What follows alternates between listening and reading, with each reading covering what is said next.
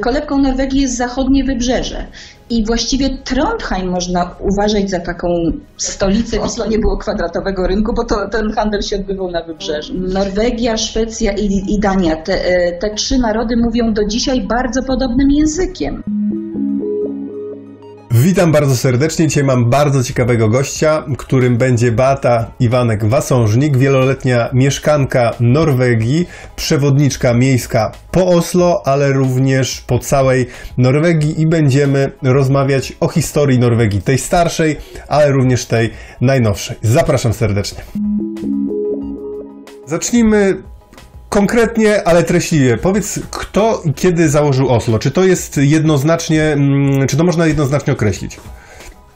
E, tak, e, bardzo jednoznacznie w tej chwili już się na to nie odpowiada, a to z tego względu, że brak jest takiego dokumentu założycielskiego. E, wiemy też z historii Polski, że wiele miast otrzymywało od króla prawa miejskie, gdzieś tam to było zapisane w annałach i wtedy taka data się pojawia. Natomiast e, jeśli chodzi o Oslo, to mm, brak takiego dokumentu, ale e, wspomina o tym e, Snorre Sturlason to jest taki mm, kronikarz, można powiedzieć, najwcześniejszych dziejów Norwegii. E, z tym, że to był Islandczyk, który spisywał e, te najwcześniejsze e, dzieje Norwegii w postaci sag, czyli takich jakby legend i opowieści, więc to była taka literacka forma, ale można to traktować jako swego rodzaju kroniki, bo to są historie tych pierwszych władców. Ale to było w XIII wieku, czyli troszeczkę później.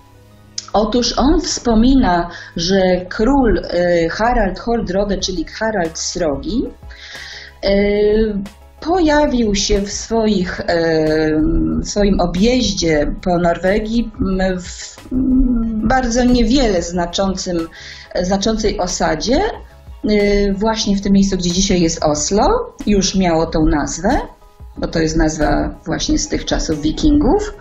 I tak jakby dał swoje królewskie błogosławieństwo e, i, i jakby założył miasto tym samym, tak? Mhm. Pewnie też zostawił jakieś e, swoich żołnierzy, ponieważ w tym czasie e, władcy raczej przebywali na zachodnim e, wybrzeżu. Mhm. I to Y, potem XIX-wieczni historycy ustalili na 1048 rok, czyli połowa XI wieku. Czyli ha, y, A, król przyjechał mm, y, i w, w, tym, w tym wieku, o którym wspominasz, wtedy była pierwsza wzmianka o Oslo, czy wtedy mm, Oslo stało się miastem, czy jakimś... Po prostu jakieś 200 lat potem kronikarz wymienia, że ten właśnie król nadał w pewien sposób taki większy status mhm. tej małej osadzie, status osady kupieckiej, status osady, gdzie się odbywały e, większe takie targi, to było przecież nad fiordem, więc to był też port. Nadał taki status, no powiedzmy nie tyle miasta, bo to była niewielka osada, ale miejscowości królewskiej, gdzie też król bywa. Mhm. My wiemy, kiedy ten y, król y, panował, także mniej więcej, tak? To była połowa XI wieku, a pojawia się też data 1048 rok z tego względu, że y, wtedy się tam rozwinął kult świętego Halvarda, który do dzisiaj właśnie w herbie Oslo widnieje, potem pokażę bliżej. E, czyli tak jakby też, e, no, można przypuszczać, że król nadał herb, e, kazał zbudować kościół wokół grobu świętego Halwarda i wtedy to miasto zaczęło, mhm. wtedy ta miejscowość zaczęła się rozwijać już jako ośrodek, nie tylko handlowy, ale też właśnie z własnym kultem religijnym, tam budowano kościoły, to już były czasy, kiedy pojawiało się chrześcijaństwo. Ono się pojawiło tutaj stopniowo. Mhm. Czyli Oslo nie było, to nie była, stolica to nie było najważniejsze miasto tych, tego obszaru, które nie. król, o którym wspominasz, miał pod swoim władaniem, a gdzie był ten centralny ośrodek, czy można powiedzieć o jakimś jednym centralnym ośrodku, gdzie, bo, bo jak wiemy historia Norwegii to jest historia walczących, jednoczących się plemion, ale, ale gdzie był ten główny ośrodek, to miejsce centralne? W tak zwanych czasach wikingów, które bez, w norweskiej historii bezpośrednio e, poprzedzają średniowiecze, a średniowiecze to jest czas już chrześcijaństwa, czyli ten czas przed e, wprowadzeniem tutaj chrześcijaństwa, VIII, IX, X wiek do, połowy, do początku XI, to były e, czasy, kiedy wodzowie lokalni działali i próbowali pod swoją jurysdykcję jakieś coraz większe obszary e, podłączyć, ale to najbardziej, najwięcej się działo na zachodnim wybrzeżu, bo tam właśnie są te fiordy.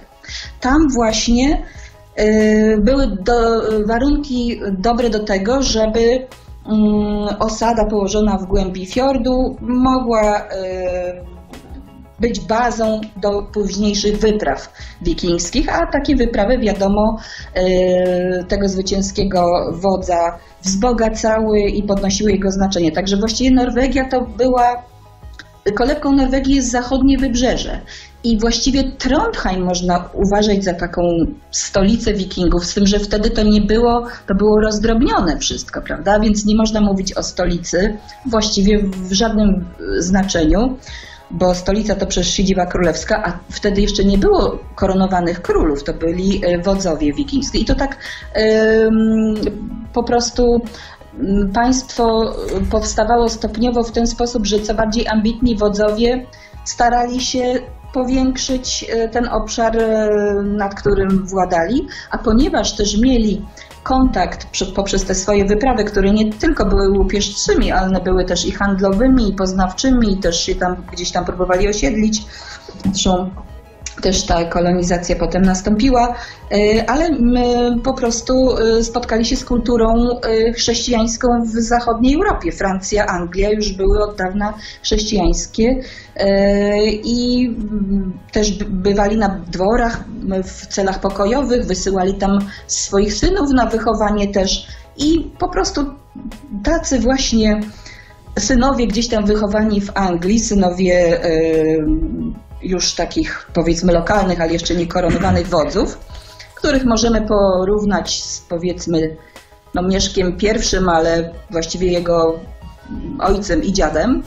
E, oni, oni potem mieli takie ambicje e, wprowadzenia tej nowej kultury, bo to nawet nie chodziło o wiarę, tylko tej nowej europejskiej kultury yy, i mm, tak jakby podpięcia tworzenia państwa, bo podpięcia jej pod struktury europejskie. Mhm. To, to wymagało przyjęcia chrześcijaństwa, ale ponieważ tutaj była bardzo silna ta kultura mm, poprzedzająca, no to to nie był jeden moment, to był proces. On yy, miał takie po prostu no, dłuższy przebieg.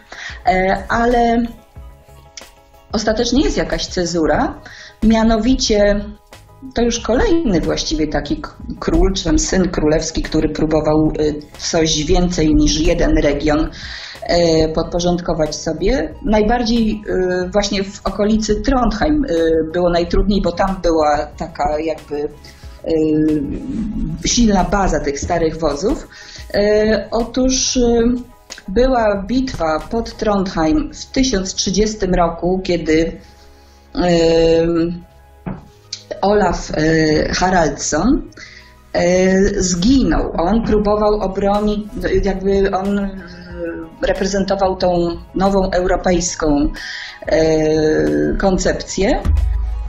Zginął w z przeciwnikami, e, czyli z tymi obrońcami Starego Porządku, ale ponieważ e, po jego śmierci powstał też wśród jego zwolenników kult i ogłoszono też go świętym, papież go ogłosił świętym, grzewicielem wiary, więc tak jakby tutaj ten wicher historii zawrócił bo jakaś tam też za jego opcją stanęła już powiedzmy potężna siła.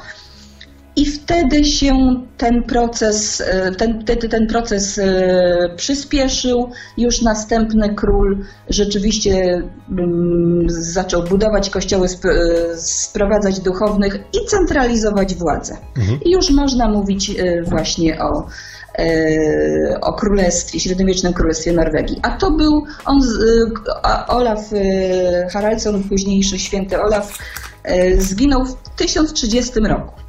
Czyli jak Oslo powstało, no to tuż y, jako miasto, tak, no to, to ten właśnie następny król, już ten zakładający wszędzie kościoły, jego y, potomek. Harald Srogi, dlatego że wprowadzał no, nieraz te prawa nowe twardą ręką. Mhm.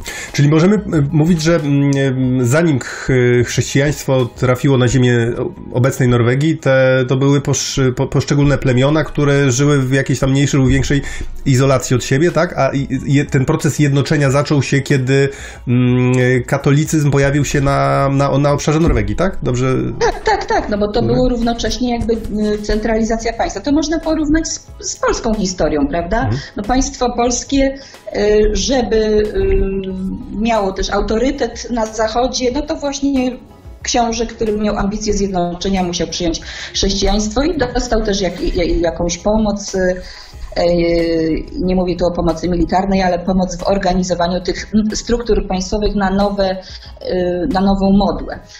Ale ja bym nie mówiła o różnych plemionach, jeśli chodzi o ludność tych poszczególnych dolin, które gdzieś tam e, miały swojego e, wodza, bo tak jakby etnicznie to, no to był ten sam lud. E, mało tego, zanim powstały te państwa, Norwegia, Szwecja i Dania, właśnie w podobnym czasie, czyli powiedzmy koło XI wieku, to te, to był lud bardzo, to, to Skandynawowie byli takim jakby jednym ludem, tak, etnicznie rzecz biorąc, tyle tylko, że rozproszeni.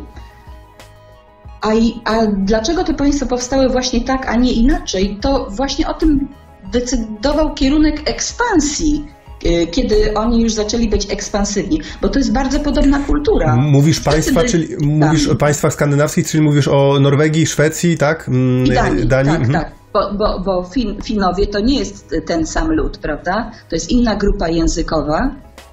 Zwróć uwagę. Mhm. E, także to Norwegia, Szwecja i, i Dania, te, e, te, trzy narody mówią do dzisiaj bardzo podobnym językiem. Znaczy, to są trzy języki, ale one są bardzo podobne, bo bez problemu Norweg, y, Szwed i Duńczyk się rozumie. No, z Duńczykiem troszeczkę gorzej ze względu na trochę dziwną wymowę, ale na piśmie na przykład ja bez problemu czytam książki po duńsku, mhm. znając norweski.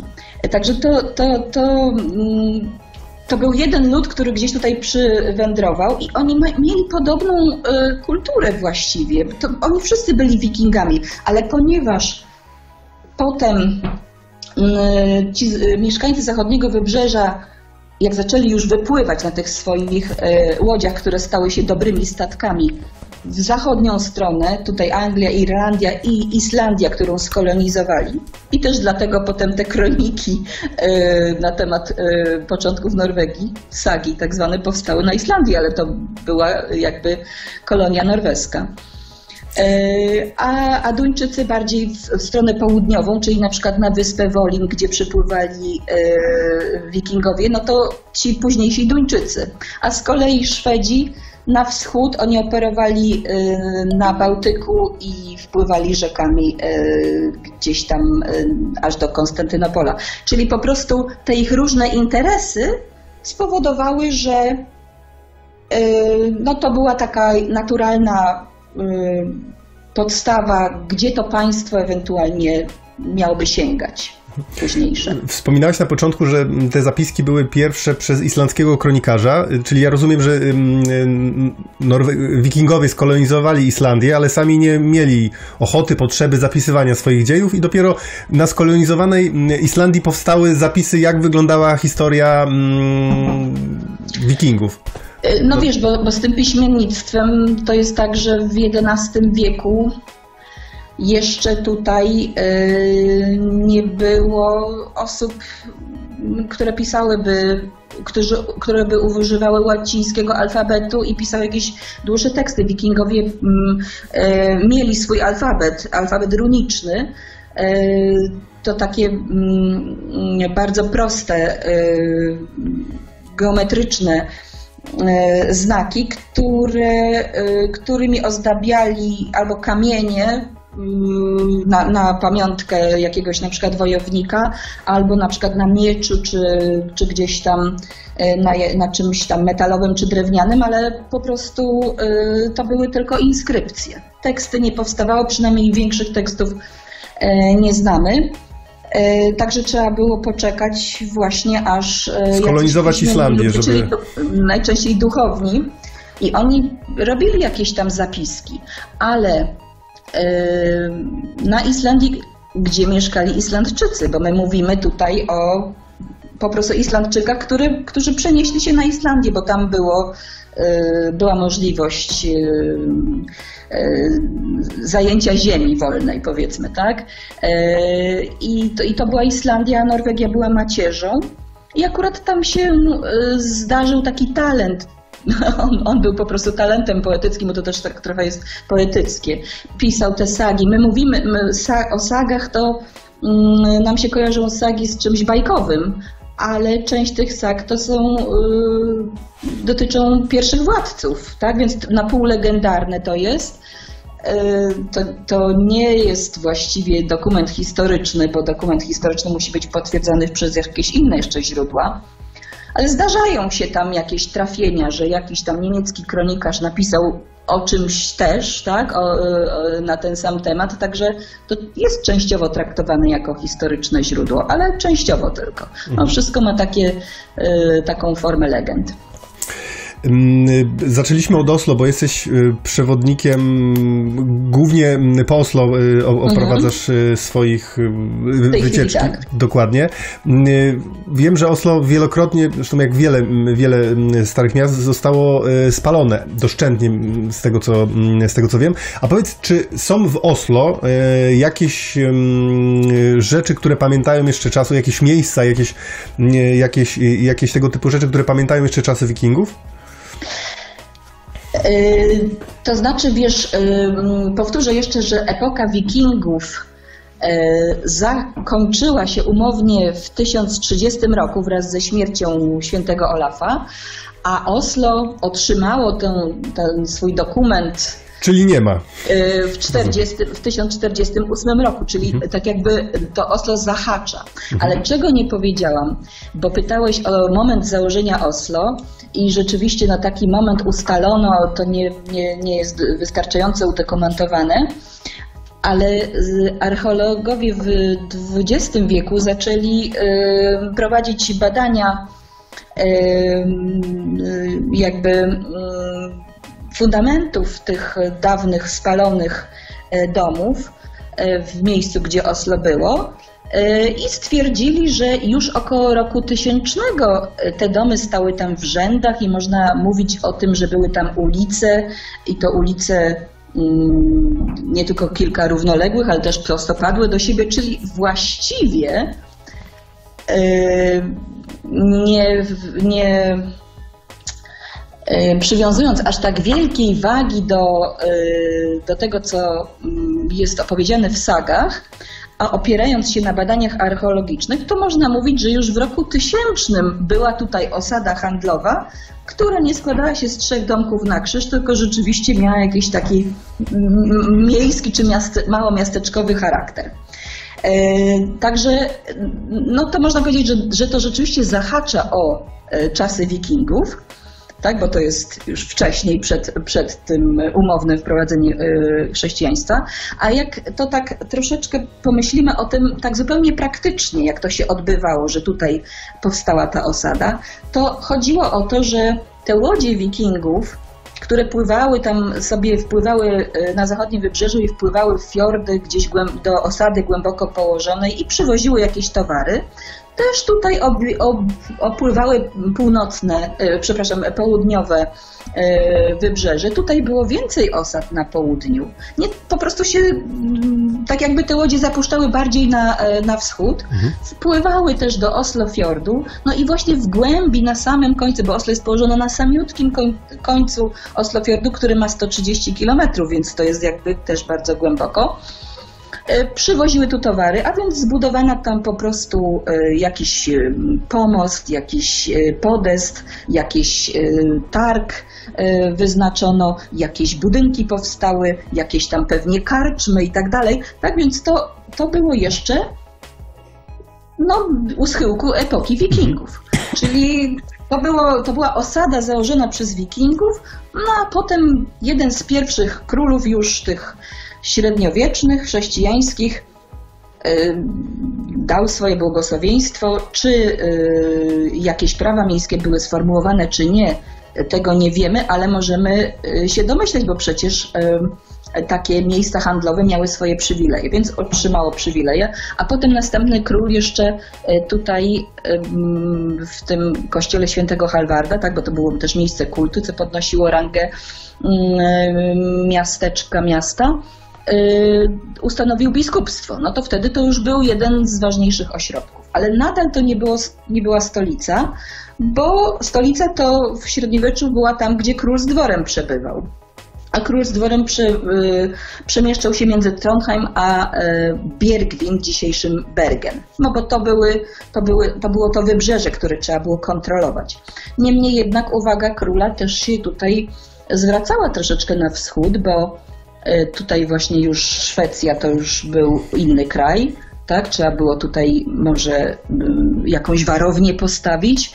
No i kolejny król, Hokon V, postawił już taką poważną warownię e, na skalę, troszeczkę z dala od miasta, tak jakby po drugiej stronie wody, na drugim brzegu fiordu, bo tam akurat było dogodne miejsce, skała.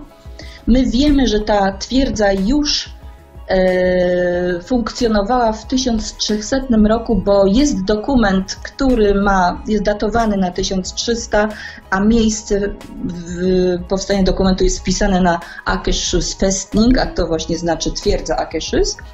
Także tam już powstało takie średniowieczne zamczysko. I e, ono ocalało do dzisiaj ten, to, to zamczysko, czy ta twierdza ocalała do dzisiaj, oczywiście już e, w troszeczkę innej formie, bo rozbudowywana, dobudowywana, zmieniana e, ponieważ ona nie, nie ucierpiała w czasie tego pożaru wielkiego, o którym mówisz. Miasto e, Oslo było miastem drewnianym. Tam były drewniane domy, drewniane pomosty, drewnem wyłożone nawet ulice były, żeby błota nie było, a co, co było zresztą luksusowym rozwiązaniem, ale to powodowało, że były częste pożary, wielokrotne. Za każdym razem odbudowywano to miasto, ale w którymś, za którymś razem, a to było już w 1624 roku, to już było za czasów Unii z Danią. Król, wówczas e, król Krystian IV, duński, ale też norweski, tak, bo duńscy królowie byli koronowani też jako norwe, e, norwescy w czasach Unii, wykorzystał właściwie ten pożar, ponieważ on marzył o założeniu takie, takiego bardziej nowoczesnego miasta w tym miejscu. No bo Oslo powstało spontanicznie, więc było takie chaotyczne, jakieś tam wąskie uliczki, zbyt wąskie, kręte troszeczkę pewnie, no i te drewniane domy. A tu tymczasem w Europie są przecież miasta z rynkiem kwadratowym. Akurat w Oslo nie było kwadratowego rynku, bo to, ten handel się odbywał na wybrzeżu. E, z ulicami prostopadłymi. Takie miasto chciał założyć Krystian IV, także zabronił odbudowywać miasta po tym pożarze. To był kolejny pożar dla Oslo, ale tym razem nie wolno odbudowywać. E, nawet pomógł finansowo e, tym mieszczanom, którzy chcieliby zbudować z cegły albo kamienia, bo zabronił budować z drewna domy w nowo wyznaczonym miejscu. Sam się tutaj pofatygował osobiście z Kopenhagi. Wyznaczył on i jego budowniczy rynek nie w przypadkowym miejscu, a pod twierdzą. Bo ta twierdza była po drugiej stronie Tej, o której mówi, że na skalę zbudowana. Tak, tak. Mhm. I tam pod, no tak, to jest skała nad fiordem, a z, no, z drugiej strony już się teren obniża, także z tej drugiej strony było można taki kwadratowy rynek wyznaczyć yy, i yy, zbudowano ratusz kamienny i ten ratusz z 1624 roku wciąż stoi. No ale ty pytałeś o średniowieczne rzeczy, no to twierdza, 1300, tak? To jest ten średniowieczny e, budynek, który co prawda wielokrotnie zmieniany, ale jest. Natomiast w tym starym Oslo nie, kamień na kamieniu nie został. Domy były drewniane, spłonęły, było tam kilka kamiennych kościołów. No one też zostały zniszczone, dach spłonął i tak dalej, ale ponieważ pewnie mury stały, ale nadpalone, ale ponieważ miasto zostało opuszczone rozkazem królewskim, no to po prostu niszczało. I po jakimś czasie to wręcz potraktowano te mury e, tych kilku kamiennych kościołów, które tam były, jako kamieniołom wręcz, ponieważ te, ten kamień e, przydał się na rozbudowę twierdzy właśnie. E, I, I, z tego względu takiego starego miasta tutaj nie mamy. Mhm. Ale jest na przykład taki kościół z XII wieku, bliźniaczy w stosunku do kościoła świętego Halwarda, bo, bo wiemy gdzieś tam y, z jakichś zapisków, że był bardzo podobny, który znajdował się daleko od miasta. No dzisiaj to już jest oczywiście bardzo blisko centrum. Y, Gamle Aker Sirke się nazywa, czyli y, stary kościół Aker. Aker to nazwa tej geograficzna nazwa okolicy Oslo.